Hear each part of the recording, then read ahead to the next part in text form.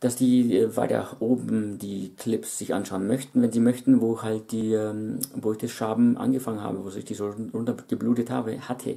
Dann können sie sehen, wie die Wunde aussieht und so weiter, ne? Aber es geht halt darum, dass äh, ich habe die Ambulanz angerufen, wieder und wieder und wieder. Also heute ist erst Mittwoch. Vielleicht haben die heute ja schon frei. Das ist eine Tagesklinik in der Gegend, ne? Äh, trotzdem sollte da jemand besetzt sein. Es ist, der Anrufbeantworter geht nicht an und sagt, ähm, Sie rufen außerhalb der Geschäftszeiten an. Nichts da, okay? So, den habe ich auch eine E-Mail geschickt äh, mit dem Link zu dem Video, wo ich die ähm, Kompresse runterziehe. Also die in Erlangen habe ich geschickt, das Zeug auch, äh, den Link. Davor hat noch keiner dieses Video angeschaut. Jetzt haben sich schon fünf Leute das Video angeschaut. Also ich bin mir sicher, die haben sich das angesehen, wo ich die Kompresse runterziehe und das Eiter sehen sie da und da sehen sie, wie ich leide. Okay? Äh, ich muss halt nur noch warten, bis die halt antworten, wenn die überhaupt antworten, falls sie nicht überhaupt wollen. Ne? Und für die Nürnberger äh, Klinik brauche ich halt auch wieder neue Einweisungen, weil das muss für Nürnberg sein. Und die Heilpraktikerin habe ich auch kontaktiert und ich habe ihr gesagt, äh, sie soll mir dieses hier verschreiben. Ne? Das habe ich am 30.01.2020 gehabt, wo der Doktor, mein Hausarzt, der Chef, wo jetzt nicht mehr da ist, weil er äh, rentet ist, berentet ist, mir eigentlich nicht verschreiben wollte. Er sagte, Sie nehmen es doch nicht ein, oder? Es heißt RM, RM Fat 300 Milligramm. Ne? So schaut es aus. Das ist nur die Packung übrig. Ne? So schaut das Zeug aus. RM Fat. Und äh, davor hat mir sein Sohn vor, verschrieben, dieses da, Vancomycin, das ist auch gegen Borreliose. Ne? Hm? Und da sieht man mal die Dosierung, lächerlich, oder? Das muss eine hohe Dosierung sein.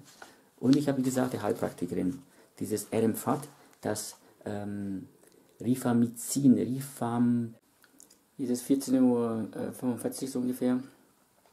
Und das nennt man, ähm, wenn sich jemand um einen kümmert. Also ich habe habe die Heilpraktikerin angerufen, Message hinterlassen, dass ich diese beiden hier nicht mehr nehmen werde. Dieses der Quenzelmin und das. Weil das eine ist ja ein, gegen Akne nicht gegen Borreliose, so habe ich verstanden, aber es gibt auch Medikamente und das ist logisch, sie hat mir das auch gesagt, weil das voll mikrobiologisch ähm, oder Mikros irgendwas äh, arbeiten. Das hat sie von einem, diese Rezeptur hat sie äh, von jemandem, einer anderen Ärztin, die leider nicht mehr lebt, die genau dieselbe Vorgehensweise hatte, machte äh, gegen Borreliose. Und zusätzlich ist dieses andere, das man da nehmen muss, dieses Quensil, da ich ja diese Mundtrockenheit habe, so wie bei Psychopharmaka. Ich nehme keine Psychopharmaka, deswegen weiß ich es aber.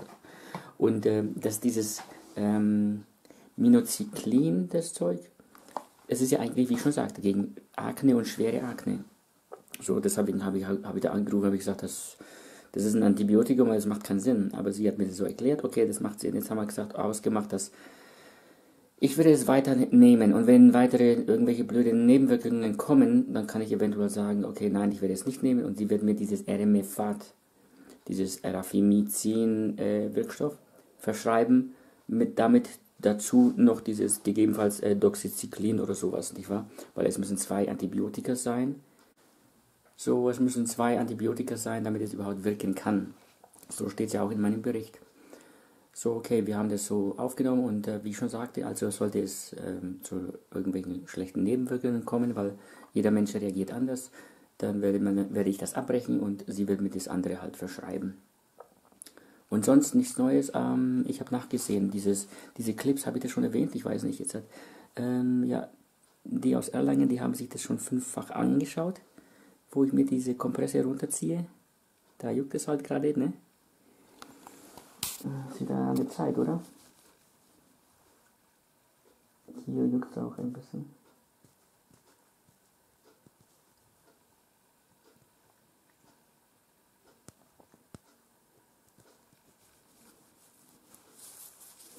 Hier ist ziemlich trocken. Hier.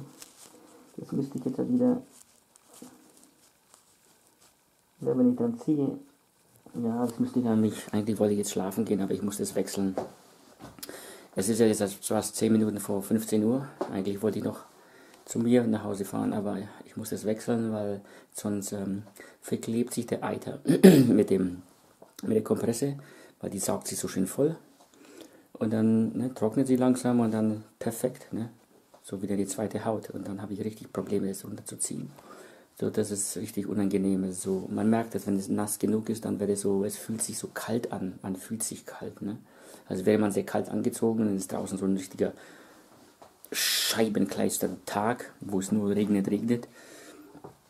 Und genauso fühle ich mich auch. Aber es geht mir halt wieder besser. Ich ein bisschen, ja, ich habe halt wieder gegessen und die hat mich ein bisschen aufgebaut, die Heilpraktikerin. Und ich äh, werde weiterhin hoffen, dass entweder die in Erlangen mich kontaktieren oder die in Nürnberg Klinik. Äh, ich weiß nicht, ne? Also, ich hoffe, dass irgendwas davon klappt, weil das muss doch nicht sein, oder? Ja, jetzt beginne ich die Borreliose zu bekämpfen, aber ach, ich habe so sattes Reden, ne? Okay. Genau, genug geredet, okay. Wir reden wieder. Bye for now. Tschüss, Film. Bis später.